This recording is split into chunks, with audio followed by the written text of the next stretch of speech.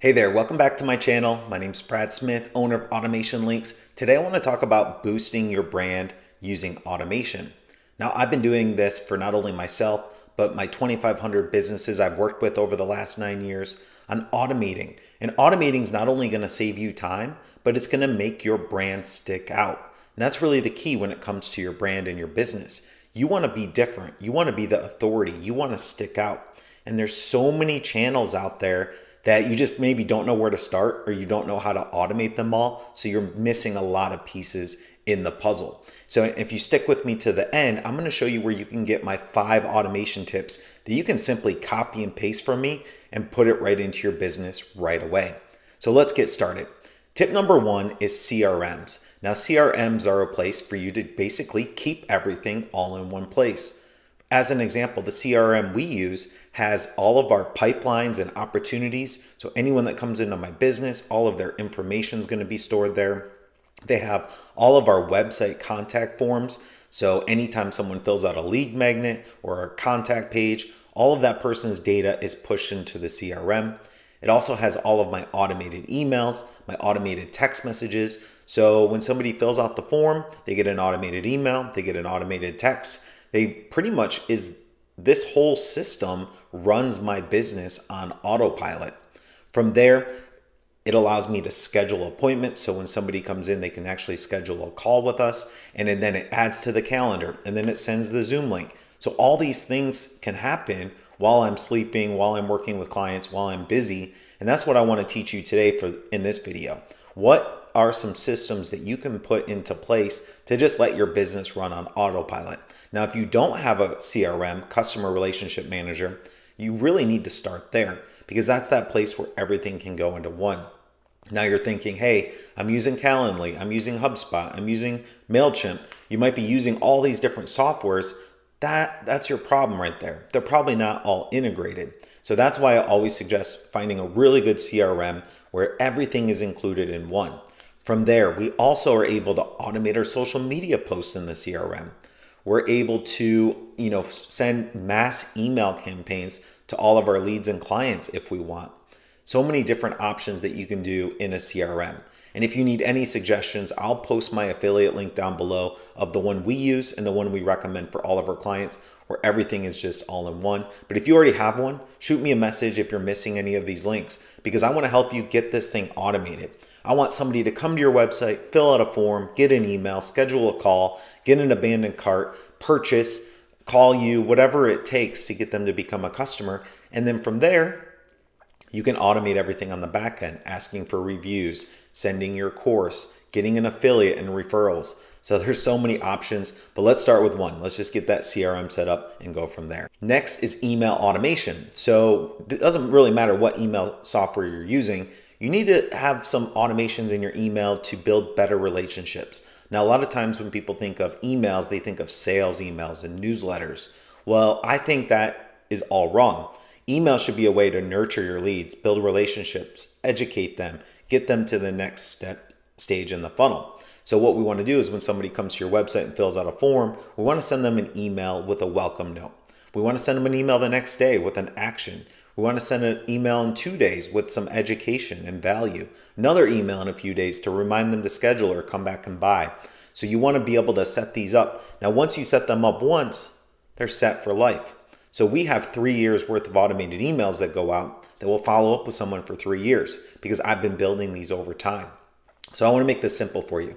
Go to one of your last leads that came into your business, and I want you to personally email them six times over the course of the next two weeks. So you're going to email them today. You're going to email them tomorrow, then every other day until you email six or seven times and make these personal. Give them some education, provide some value, invite them to schedule a call, have them follow you on social media. So the goal is to personally send these emails to one person. Now you've got seven emails after the two weeks that you can copy and paste into your email marketing software. You have to keep these personal and provide value. And if you do it one to one with somebody, you can then copy and paste that into your system. Tip number three schedulers automation. So if somebody comes to our website, fills out a form, we invite them to schedule a call on our website. Once they schedule a call, it sends the calendar invite. It goes into their calendar, sends an automated email. Then it reminds them the day before. And then the Zoom link is automatically in that calendar. Then the next day it says, Thank you for attending uh, the Zoom call yesterday with next steps. If you don't have that in place, you need to get this set up, especially if you're a business owner. Now, if you're an e commerce owner, I will touch on that on the next step here. But for a business owner, you want to be able to automate that calendar. So whether you're using Calendly or the CRM that we recommend, you need to have these steps in place. You just have to set them up once. You log in, connect your calendar, Google or Outlook. You place the Zoom link in there because you say it's a Zoom invite. And then you set in the reminder and the notification. And then you push the button, add an email an hour before or a day before. And then you push another button, send an email the next day. So these calendar softwares make it really easy for you to do that. So you can automate this whole process to get people to actually schedule and most importantly, show up. Tip number four, this is for the e-commerce, but I also use this for our B2B business. A lot of B2B businesses that we work with, we implement abandoned cart for. So whether you're e-commerce or business, a business, um, B2B business, you can do abandoned carts. So whenever somebody shows interest in purchasing something, they are usually busy. So I always say they're probably at the school pickup line waiting for to pick up their kids from school. They're on their phone. They're about to buy. Kid comes out. They put their phone down and they drive away. So that's going to be key. What about reminding them? Are you reminding them to come back to and buy? Are you reminding them the next day, hey, by the way, you forgot to buy this, or you forgot to check out, you forgot to buy my course, you forgot to buy my product? What about a couple days later? What if they were interested in buying, but they just weren't ready to buy today? You can follow up with them with a few emails, even a text message. My favorite sunglass brand, they send me text messages and emails, and they're not boring ones. They're fun. They're like, hey, we know you're busy enjoying the holiday weekend, but just in case you need some shades, here's a good discount. So you can make these fun and you can say, hey, we know you're interested. You're probably not ready to buy right now, but we're going to stay top of mind. You want to keep reminding them and you want to keep staying top of mind so when they are ready to buy, they choose you over your competitors. Tip number five social media automation. So, we don't have time to just sit on social media all day and comment and DM and send people to our website. So, what you can do is you can actually automate your social media posting and what I do is I spend an hour a week and I go into um, either Google Doc or our CRM system and I just write out a bunch of social media posts. Um, my virtual assistant now does it for me, but when I first started, I just wrote them all out. Then I went into my CRM and I scheduled them all. So now I have quality posts on every single platform. Now, a lot of businesses, they get caught up on the creative and making it look really fancy and all these animations when really your audience just wants to see quality, consistency, and something they can learn from. So technically, you don't have to make this thing super beautiful and stick out unless you're a jewelry store or you have products that need this good imagery. If you're a business, you can just provide tips. And the goal is educate and provide tips. You don't have to talk about sales. You don't have to put all these crazy images in there. As an example, you can check out my Twitter feed. I just post in infographics. So I hire a virtual assistant to write my infographics from my scripts, and that is my post, and it's providing value and education. If somebody wants to sign up for the newsletter or if they want to buy something, they'll go click the link in the bio. I don't have to tell them to do that. So when you do your social media posts, I want you to remember a few things quality, simple, educational, and consistent. If you can only do it three times a week, do it three times a week. And you don't need to be on every single platform. I made this mistake. I thought I had to be on TikTok, on Instagram, on Facebook, on Twitter, on LinkedIn. You want to just focus on a few platforms that are your specialty, where your ideal audience is at. And from there, you can just post consistently. You can provide that education and start building that audience around there. Eventually, they'll go find you in other places. If you're watching my YouTube video, maybe you found me on Twitter. Maybe you found me on LinkedIn. Or if you're on my LinkedIn, maybe you found me from YouTube. So people will go find you in other areas. So once you get consistent, go into your CRM and schedule the social media post.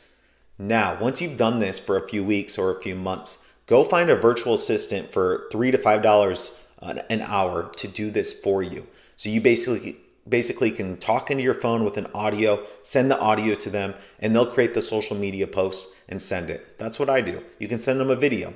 You could write the post, send it to them, and they'll create the images and schedule it for you.